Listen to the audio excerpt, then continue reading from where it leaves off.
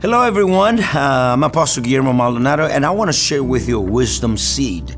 You know, Luke chapter 21, I'm going to speak to you about stress, how to overcome stress. How do you live a stre- life, stress free life? Stress free life. How can you do it? Is that possible? Yeah. What is the stress? What are the causes of stress?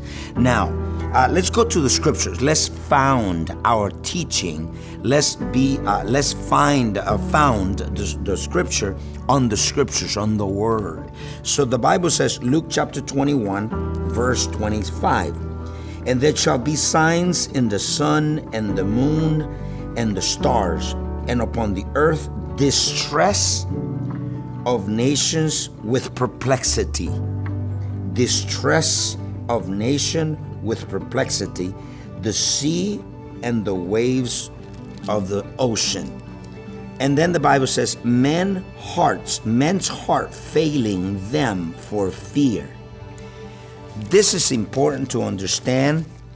Why? Because the life, the, the modern day life, is filled with struggles, frustrations, deadlines, disappointments, and if you go to statistics now, 20% of the population in America and in the world is is stressed out, is depressed, uh, with anxiety, and so many things. Let's define what stress is. Stress is a normal physical response of the body before a threat or a danger is important to understand is a normal physical uh, response of the body. That's what medical doctors or people call it adrenaline. Adrenaline is released when you exposed to danger.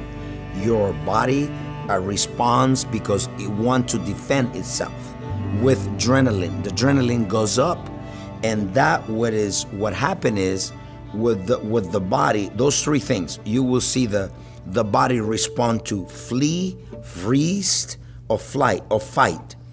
And there's two kinds of stress. So when the body is in danger, it will respond and the body will release uh, uh, free radicals, what the doctors called it. And that causes the body to get sick. You can do it in that moment, but you cannot live in a state of stress. So there are two kinds of stress. Number one, the natural and the demonic.